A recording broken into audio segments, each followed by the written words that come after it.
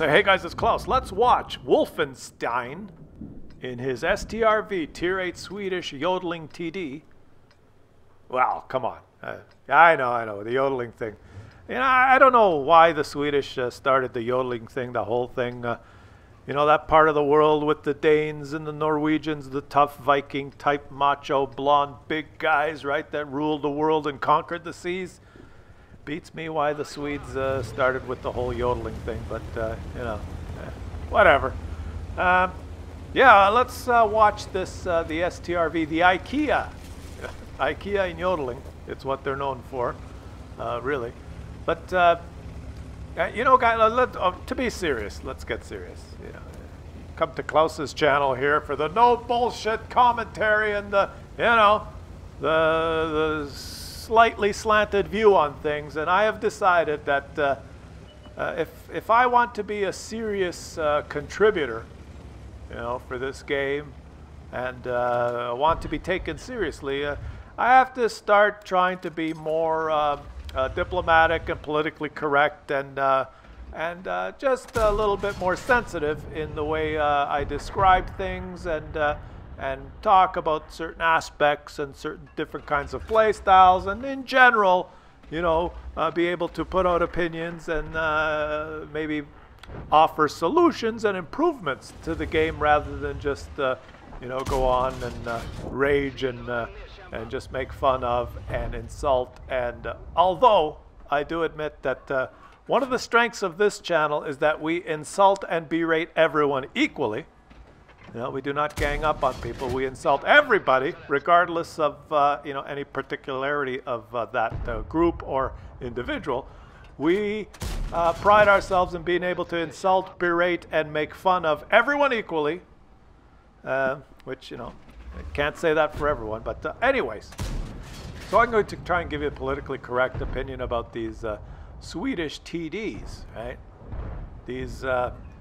Uh, uh, these TDs with the hydraulic Swedish yodeling suspension system, you know, they can go up and down, and they got the siege mode, you got to press a button and then you're in siege mode, which means that uh, you're very accurate. But when you're in siege mode, you have this like camo, uh, that superhuman camo, right? That means uh, the enemies can be anywhere on the map right beside you and you can shoot them and they can't see you. You become invisible like the Romulan cloak, uh, visibility cloak. Was it the Romulans or the Klingons? I don't know, the Klingons were the ones that are always angry, uh, you know, fighting. It was the Romulans. The Romulans had the invisible cloak of uh, death, or whatever they called it, that they could, you know, cloak themselves. The invisible cloak, right? They just press a button, and they become invisible. And then if you're in the starship and the Romulans come in, they're invisible, and you're fucked. Well, that's the same thing with the Swedish yodeling uh, IKEA TDs. Uh, you press this button, uh, I, I, don't know because I, maybe it's X. I'm not really sure. You press a button and you go into siege mode, which means you become invisible. And this is really good for the game. I guess it was thought when they invented these things or added these things in the game. It would be very good for the game uh, to have a whole line of tanks that you could press a button and then you become uh, invisible and you could just shoot people while you sit in a bush. You know, you could be way at the back, jerking off in a bush the whole game, never move, and just shoot everyone over and over and over again. Right? Let your team really play the game. Let your teammates move up and uh, and try and spot and actually engage in, in the active play of the game. And you could just sit way at the back in a bush, in a, in a bush, uh, you know, jerking off in the bush. I've pressed my little button. I'm invisible. No one will see me jerking off back here, and I could just you know, eat a Twinkie and just shoot. And it doesn't matter where the enemies are. They could be really close. They won't see me because I have the secret invisible button. This was, uh, you know, decided that uh, this would be good for gameplay and would promote more dynamic and exciting play. Uh, I guess they never thought that if you gave a tank the superhuman invisible Romulan cloak, right, in siege mode, that it might promote uh, a little bit more camping in the game. And uh, I guess that, you know, they didn't consider that that might be something that happens. So we're watching uh, Wolfenstein here, who was camping in the bush, and his team is losing, so he decided to move a little farther away and camp in another bush. And now he's pressed the Romulan cloak of siege mode, and he is invisible, and he can shoot some other enemies from uh, from his stealthy position, where no one can see him. So, um, is this good for the game or not? Well, I know that a lot of players that I play with when you're when you're playing, and uh, you know you're kind of playing the game, and then you're moving in, and there's a lot of fighting going on, and it's exciting. Then you have to cross an open area to get to the enemy cap, or you have to wrap up the game at the end. And at the end, there's one or two Swedish uh, yodeling invisible TDs, and you can't see them. And you know that, uh, okay, I will not be able to spot them unless I get within 50 meters and proxy spot them. And if I drive there, uh, they'll be able to shoot me 14 times before I get there and not be lit because they have a you know, magical invisible cloak. Uh, you press the button and they get the magic invisible cloak. So a lot of players get upset. Oh, there's these invisible uh, guys here, and so then they don't move up. Like this guy, he's moved up, and you know that was a mistake because the magical invisible TD can shoot him, and he doesn't see him. Oh, here's another guy that's really close. He's he's with it now. He's pressed the magical invisible cloak, and now he can shoot. You see, he can shoot this guy, and this guy will not be able to spot him because he's got the Romulan uh, Swedish yodeling cloak, and he's dead. So uh, I guess it was never really considered that adding these types of vehicles in the game uh, would maybe promote uh, the people that play them to camp and sit in a bush and jerk off all game. And it may promote some of the enemies uh, that know that these things are invisible to camp and jerk off and uh, do nothing all game. Like this poor guy who thought, well, maybe I'll move up and try and spot him. He couldn't. Look where he is on the map. He's know, 150 meters away. But he, oh, look at this guy. This guy's close. He's surrounded by enemies, but no one can see him uh, because he's got the invisible cloak. Uh, so some of these enemies have, you know, grown some. They've put their big boy pants on and they've moved up to try and spot him, uh, but they can't because he's invisible. Because you know he's he's shooting a big gun every now and then, and the big flash, the gunpowder explosion, and the projectiles shooting out of the muzzle of the gun, making the big, huge noise, kaboom! And the, you know, the fire flashing out of the, the muzzle. Now, they can't see that because he's pressed this button that makes them invisible. Um, so this, uh, no one really considered that this might add an element of camping on both sides. And I don't know about you, but what's your uh, feeling uh, about these uh, invisible yodeling Swedish? people? Oh, there's another guy. He's clear line of sight here, but no, he doesn't see him. He's trying to move closer. Yeah, he's no, no, he's not going to get spotted because you know he's got the secret cloak. Uh, this guy's trying to move in.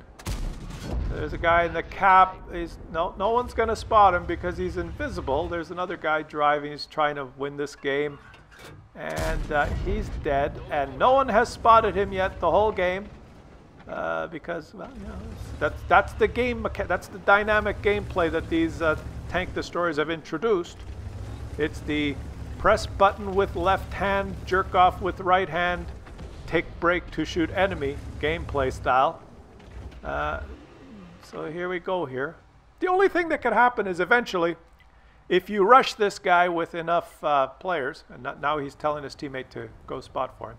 If you rush some of these Swedish uh, yodeling TDs with enough players. And he can't kill all of you at once, you know, while you rush him, And you get within proxy spotting distance of them. Then, you know, they become lit and they become vulnerable. Uh, but on some of these maps where you could sit way at the back at A1 or A2, uh, that's kind of hard to do because you have to cross a lot of uh, open ground. And oh, look at this. It's what's ha oh the object has has the object killed him? Yes. And now he's using He's using his mobility. He's out of siege mode and he's going to go drive somewhere else now. Oh, it's just him. It's just him. Okay, so he's on his own versus two. And now he does not have any uh, teammates to spot for him, so he's going to have to rely on actually moving around and using the W key and, and trying to move and maybe uh, trying to outsmart the enemy by flanking or, or uh, moving around. Let's see how he does here. He's, uh, he's moved to the east. Now he's probably thinking that they know he was in the, you know, the northwest corner. They knew he was there. He, they couldn't see him, but they knew he was there. So he's gonna he's gonna change flanks. He's uh, pressed two twice. He was able. Oh, he actually pressed a different button. He's pressed number two now instead of just fire. Uh, he's got APCR loaded, and he's, he's he's driving around. Oh, here we go. Okay, let's follow. Let's see how how we do. You guys, let me know in the comments what you think of these Swedish yodeling TDs. Whether they add dynamic gameplay or whether you think they promote camping.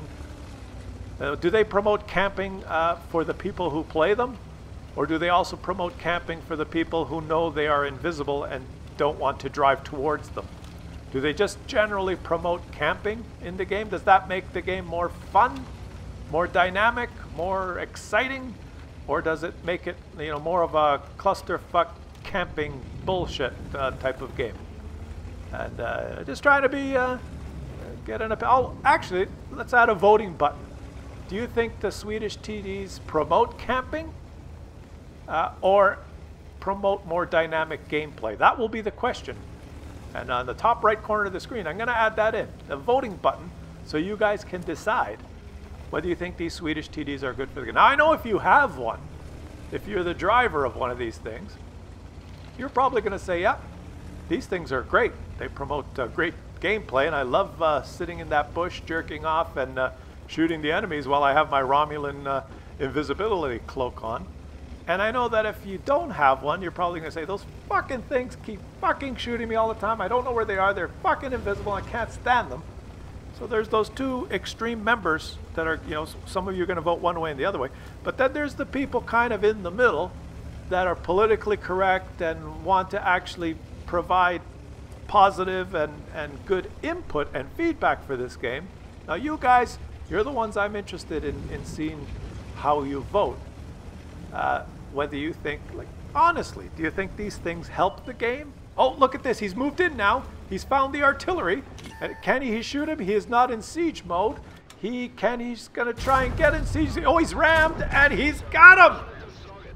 He's got him. He got himself in siege mode and he killed the artillery. He actually moved around and shot someone. But now, now this fucking camping Swedish yodeling piece of shit TD that was fucking invisible the whole game promoting fucking camping and shooting people with his Romulan fucking invisibility cloak is gonna get shot up the ass and get what he deserves and finally, finally, someone's moved close enough to him so that he can flank him and get around and shoot him up the ass and put an end to this bullshit. Yeah. Well, you guys vote on the top uh, right corner. Look at the stats. Great game, eh? Uh, too bad he lost. Uh, let me know whether you think these Swedish yodeling TDs uh, improve the gameplay, add the, you know, make more dynamic gameplay, or promote camping and leave your rage in the comments. Uh, I won't tell you what my opinion is. I'm interested in knowing yours.